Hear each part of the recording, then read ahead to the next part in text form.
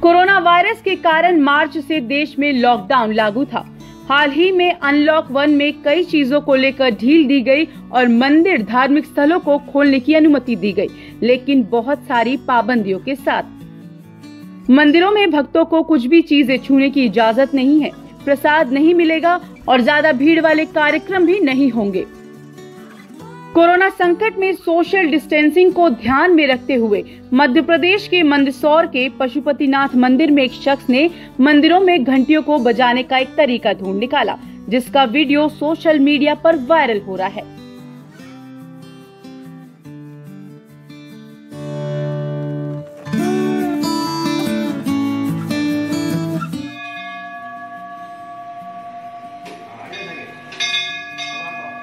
थोड़ा अरे आगे जाओ बस।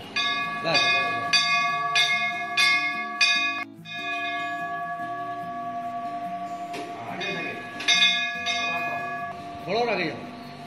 अरे आगे जाओ बस।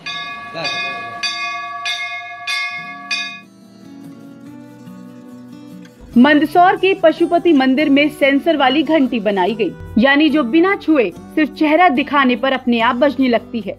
मंदसौर का ये पशुपति मंदिर शायद देश का पहला ऐसा मंदिर होगा जहाँ सेंसर की घंटियाँ बज रही हैं। ये काम एक मुस्लिम शख्स के कारण संभव हो पाया है। इस सेंसर वाली घंटी को देखकर भक्त काफ़ी खुश हुए हैं।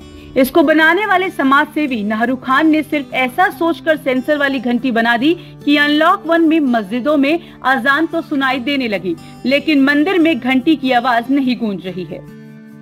नारू खान के इस प्रयास की हर तरफ़ तारीफ़ हो रही है। और हो सकता है कि जल्द ही ऐसी घंटियाँ बाकी मंदिरों में भी देखने को मिल सकती हैं। News desk.